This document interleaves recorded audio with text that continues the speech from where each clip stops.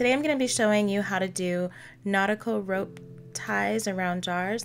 I've been wanting to do this craft for a really long time and I thought today was the day. I actually was watching um, Ozark and there were some water scenes that they had and I got inspired because it's summertime where I am and I wanted to create something that was beach or water theme.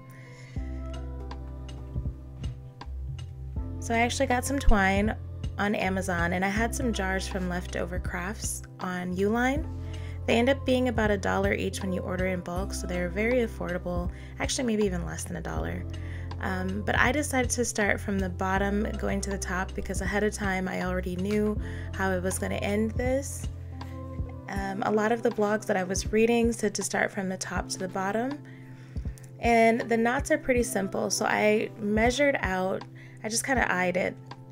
I made the rope about three times the length of the jar and then I cut them all the same length, a bunch of different strips, as many as I thought that I was gonna knot around. So you just make a loop, you loop it around and pull it through just like this. It's very simple, and that's gonna be the same knot that you're gonna use all the way up the jar or down the jar, whatever way that you decide to start.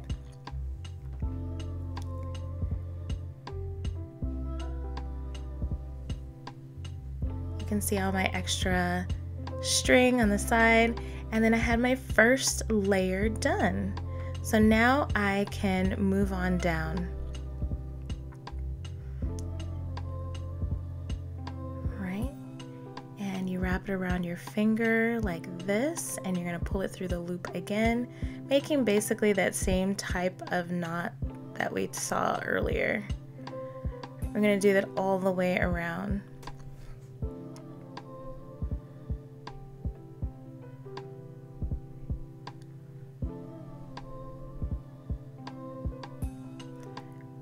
So when you have two pieces of string, like you see here, you're always taking one and then you're grabbing the other from the neighboring couple of strings.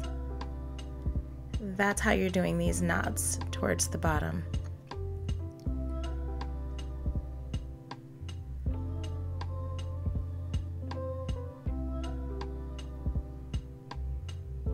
Now we're gonna go for another row.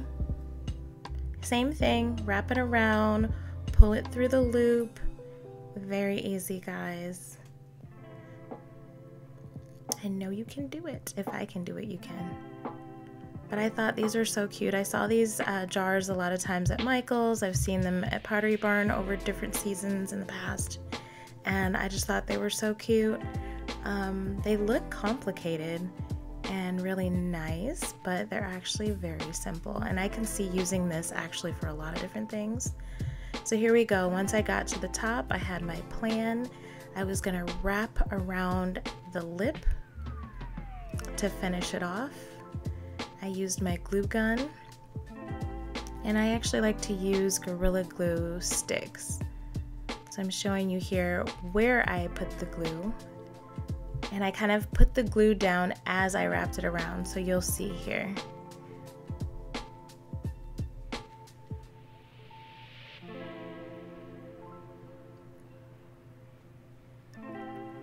I used the backs of my scissors to help push it down because it was hot.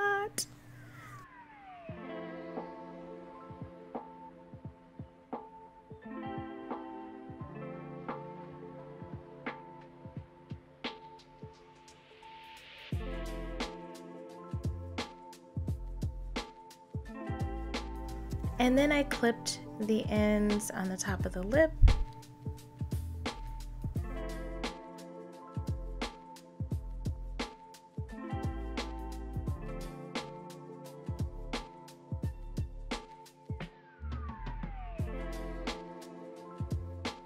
And I topped it off really good at the top and there you have it but I knew I wanted to do more I actually wanted to make it into a sort of lantern so I decided I'm gonna figure out a way to make a handle out of rope.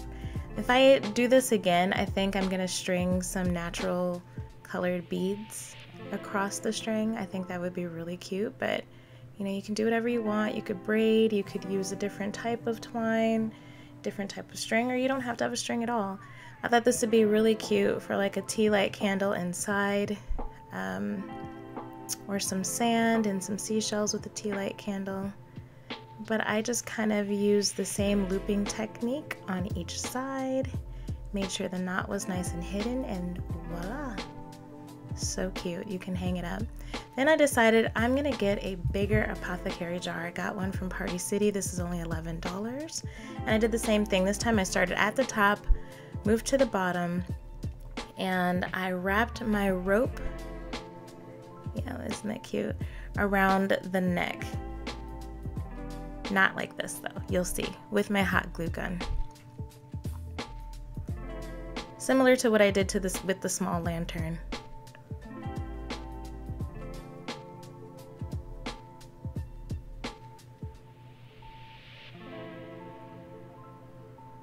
And look at that, so cute. And I would say with the amount of twine used and that big giant apothecary jar, it was probably a total of $12 or less.